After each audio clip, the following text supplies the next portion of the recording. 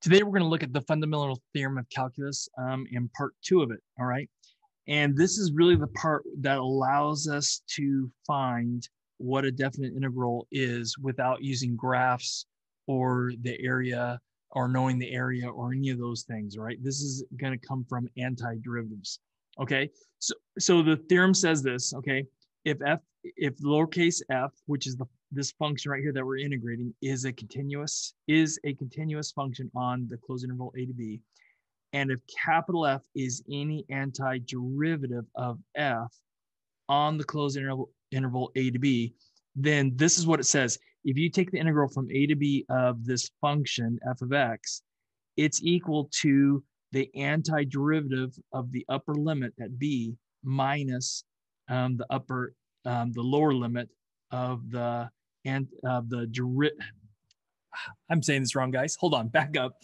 This is saying if you take the integral from a to b of this function f of x, it's equal to the antiderivative at b minus the antiderivative at a. Whew. Okay, that's what I was trying to say. All right.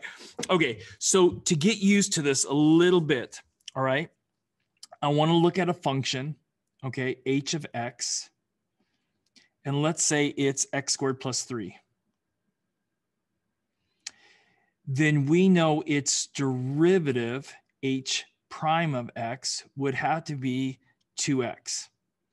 Okay, so function to derivative. But if we start with this, we could call the derivative of function. And then this h of x is equal to x squared plus 3 is called the antiderivative. So we're going backwards.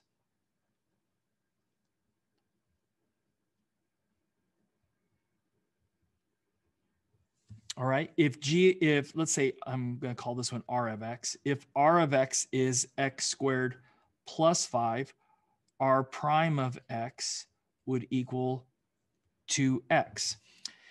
So, all right. So then if this was called the function, if the derivative was the function, then this R of X would be the antiderivative of it. Okay. So that's what I'm going to do next is if H of X is equal to 2X, the notation that we use for antiderivative is a capital letter for the function. So the antiderivative of h is capital H of x. And that's going to be, in this case, if we know this is the derivative, or this is the function, this is the derivative, then the if this was the function, then the antiderivative, if it came from this, would be x squared plus 3. Similarly, if r of x was equal to 2x, then capital R of x, when this case would be x squared plus 5. So we, we use capital letters to mean antiderivative. That's the notation. Instead of prime, okay, we use this um, capital H. So this would be the function now. And then these would be the antiderivative. Now, I want you to notice something here that these two functions are actually both 2x, right? But they came from two different antiderivatives. And so what's the difference between them? It's this constant c, okay? All right, so here we go. I'm gonna show you where why this works, okay? And so we gotta use what we learned yesterday to help us out. And so we're gonna let capital G of x, that's that integral function, okay? Equal the integral from a to x of f of t dt. Okay, so from yesterday, right, we know that capital G prime of x um, is equal to, well, all we have to do is put the x in, right? This would just be f of x. Okay, so now what we're going to do is we're going to take the antiderivative of both sides. So the antiderivative of g prime would be g of x. And the antiderivative of this function f of x would be capital F of x plus some constant c. Manipulating this, okay, this tells me that capital G of x minus c would equal capital F of X. Okay, So we're going to use this to help us figure out, okay, what is the antiderivative of at, at a value B? So capital F of B minus capital F of A. And so these are both antiderivatives of this function F, okay? And so we know that from this, that F of capital F of B would be G of B minus C. So I'm going to put that in a bracket. So G of B minus C. This is, this is right here, F of capital F of B. All right, and then we're going to subtract and capital F of A. I just use say capital F because it's just easier than saying antiderivative. Okay, capital F of A would be G, capital G of A minus C.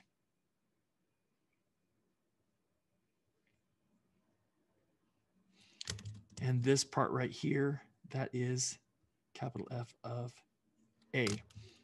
Okay, so if I take out the brackets, this becomes G of B minus C minus G of A plus C. So this minus C and this plus C, these C's are going to cancel out. And so we're left with capital G of B minus capital G of A. But what is the G function? The G function says that's the integral from A to B of f of t dt. So this one right here is the integral from A to B of f of t dt minus, and we're going to do g of a, that'd be the integral from a to a, the integral from a to a of f of t dt. All right, so that makes this, because we're integrating from a to a, that makes this zero. That makes this equal to the integral from A to B. Now we're no longer ending this X. So I, I, can actually switch this back to X's now because, because now we're actually, this is a lower limit and upper limit. These are both constants now and not a variable. Okay. So then this becomes, we can switch that, this T right here back to our X because that was just a dummy variable. So what is, what is this saying? All right.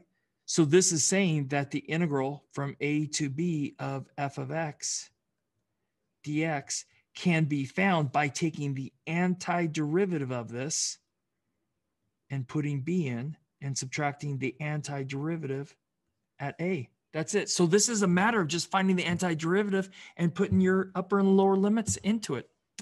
All right.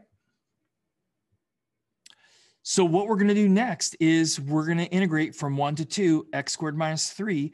So this is going to allow me to find this without using graphs like we've been doing, okay? So what's the, the antiderivative of x squared minus 3? Well, we got to add 1 to the power and divide by that power, right? So this becomes, um, we're going to add 1 to the power, so that's going to become x cubed, and we're going to divide by that power, which is 3, minus, and then this is x to the 0 right now. When I add to it, it's going to become minus 3x. Okay, so that's the anti, this is the antiderivative of x squared minus 3. It's x cubed over 3 minus 3x. If you were to take the derivative of this, it would give you x squared minus 3. Okay, so you can think of it like that. And then the notation we use for this is we draw a vertical line, and you've seen that before. And so we're going to evaluate this from 1 to 2. So then we're going to write this is equal Okay. And some people put a bracket around this and then on the, and that's just an alternative way of doing it. Okay. Um, some people put a bracket around all of this and then write the lower one as a one and the upper here is a two. And so we want to put this two in because that's the upper limit. We always put that one in first. So I'm going to write a bracket and this would be two cubed over three minus three times two, close the bracket, subtract, and then bracket. So this is your basically your antiderivative at two. And this one's going to be your antiderivative at 1. So this is going to be 1 cubed over 3 minus 3 times 1.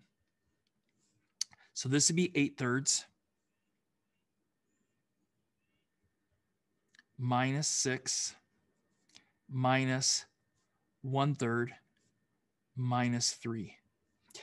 And actually what I would do, because I see some thirds, I would actually distribute this subtraction right here. So this becomes eight thirds minus six minus one third plus three. So this is gonna make seven thirds. And negative six and the positive three makes minus three. And now you need to get a common denominator.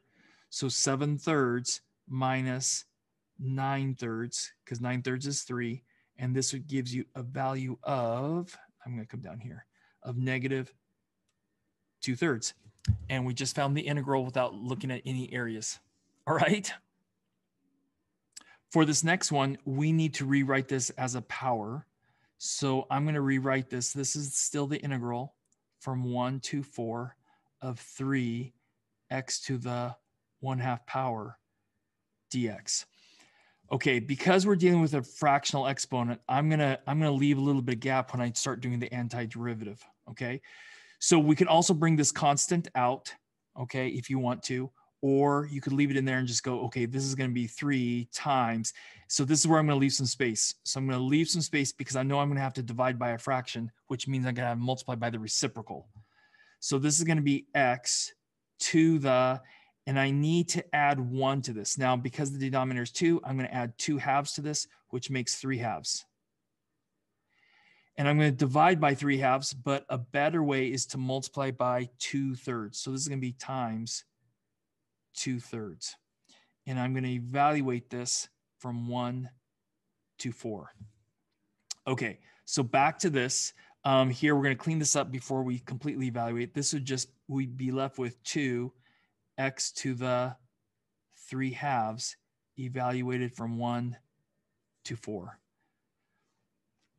So I'm going to use brackets here. This would be 2 times 4 to the 3 halves power minus and 2 times 1 to the 3 halves power. Okay, so um, it's easier to take the square root because that's what this 2 means. This denominator of 2 in the exponent means square root. So square root 4 and then cube it. So the square root of 4 is 2, cubed is 8. So this one becomes 2 times 8 minus the square root of 1 is 1. Q, 1 cubed is 1 times 2. So this would just be times 2 or minus 2. And so this becomes 16 minus 2 which is 14. And that's the answer to this. All right. So this is one that, okay, you have to know your derivative rules in order to know the antiderivative. Okay. So I know that the derivative of tan x is secant squared x. So that means the antiderivative of secant squared x would have to be tan x. So this is equal to, okay, the antiderivative, which would be tan of x. And we're going to evaluate it from 0 to pi over 4. So that makes this tangent of pi over 4 minus tangent of 0.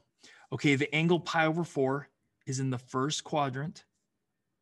So I'm going to draw my little diagram here. I know because this is pi over 4, this is a 45, 45, 90 right triangle. So that makes this side 1 and this side 1 because x and y are both positive in this quadrant. And this would be the square root of 2. Tangent is the y over the x. So this one's going to be 1 over 1. That's the ratio at pi over 4 hmm. minus, and then I'm going to draw a diagram for tangent of 0. Now, tangent of 0 would be right here. Okay, and so we got to realize, okay, my X there is one, my Y would be zero, and my R would be one. Tangent is my Y over X. So this would be, this ratio would be zero over one. So that makes this one minus zero or one. Again, this is one where you have to recognize that this came from um, you have to know your derivative rules, right? And the derivative of tan inverse is 1 over 1 plus x squared, okay?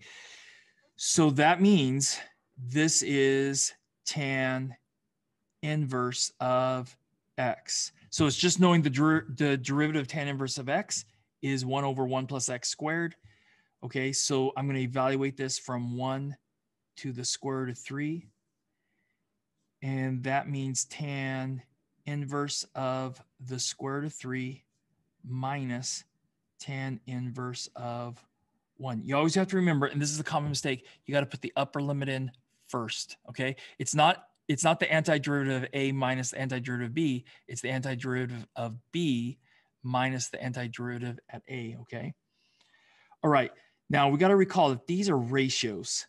So that means this is really tan inverse of the square root of 3 over 1 minus tan inverse of 1 over 1.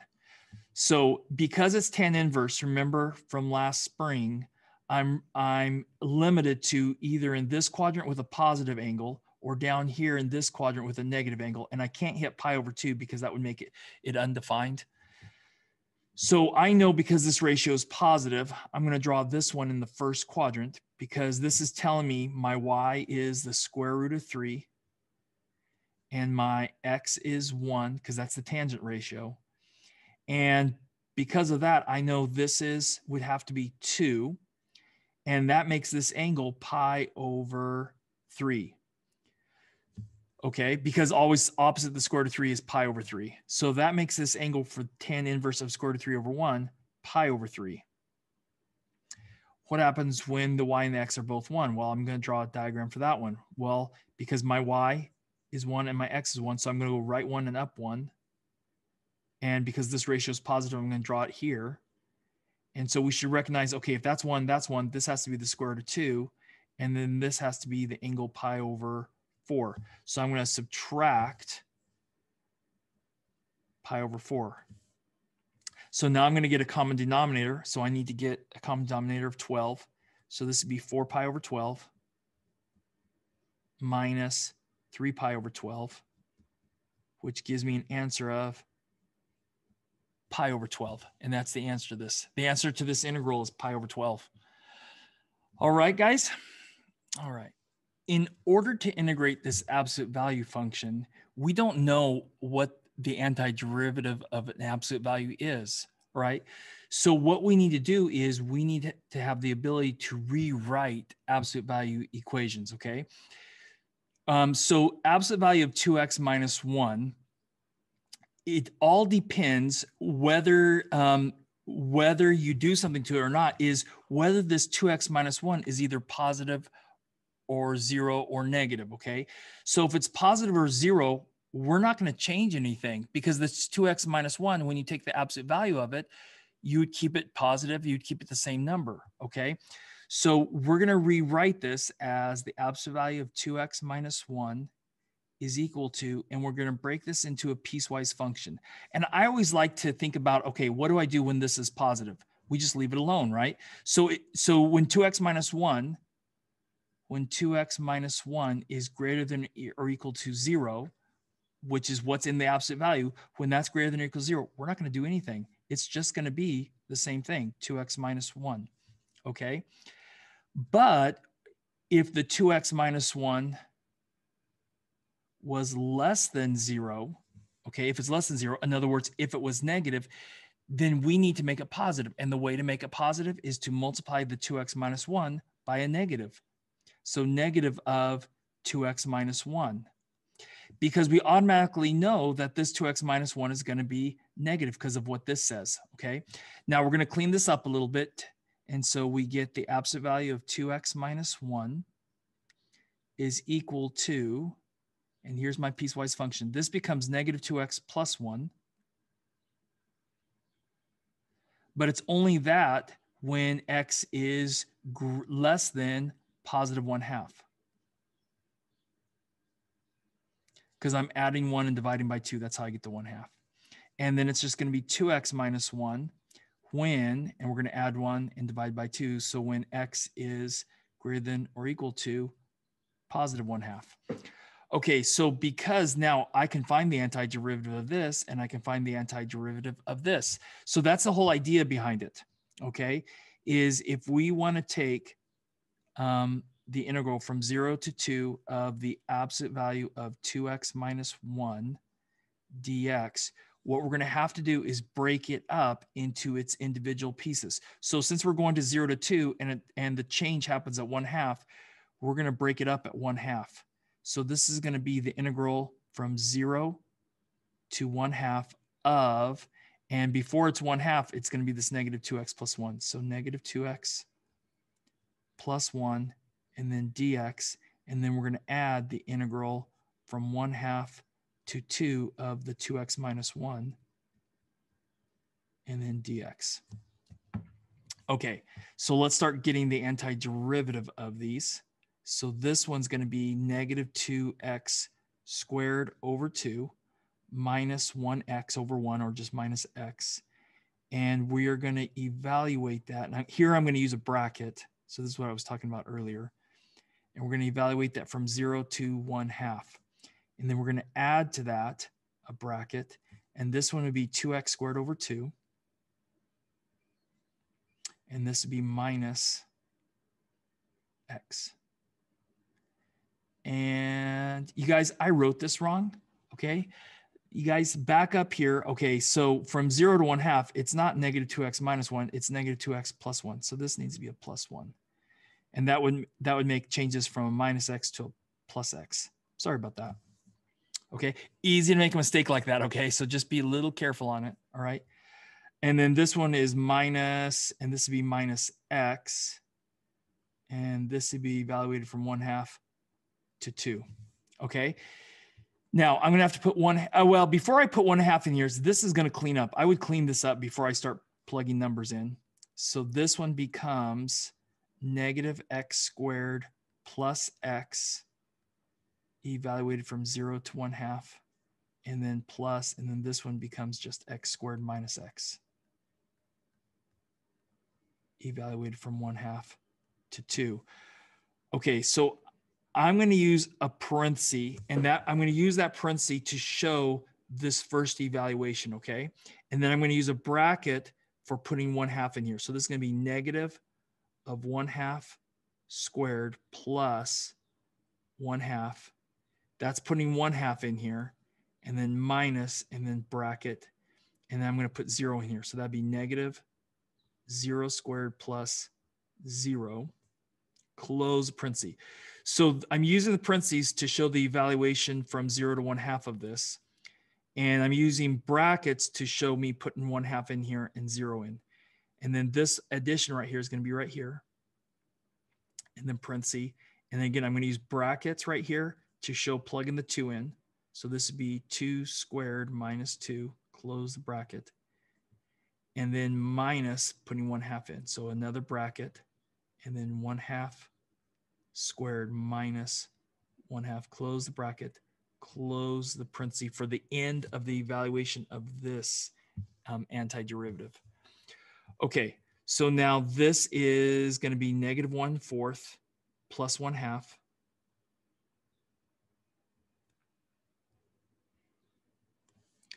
And then this, since this is going to be zero squared plus zero, that's just going to be zero. So minus zero. If you didn't write minus zero, that'd be okay and I'm going to close the parenthesis.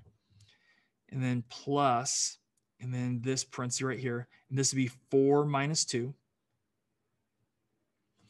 And then this would be minus 1 fourth,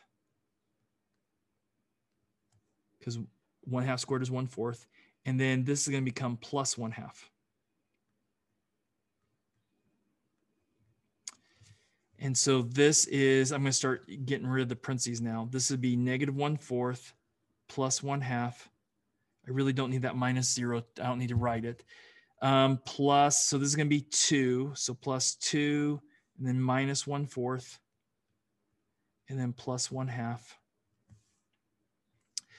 So this is going to be negative two fourths. I'm going to come off here to the side. Negative two fourths, because that's the negative one fourth and the negative one fourth. And the one half plus the one half makes one plus two. So plus 1 plus 2.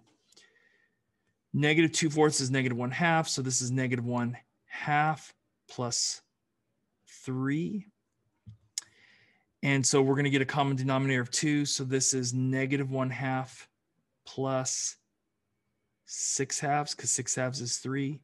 And so that gives you a value of, sliding it up a little bit, 5 halves. And that's the integral from 0 to 2 of this absolute value function. All right. That one's that these are normally hard when you have to do two antiderivatives and add them, or even sometimes you're gonna have to subtract them. Okay, that's that's where it gets tricky, and you got to just be organized with your parentheses and brackets. All right.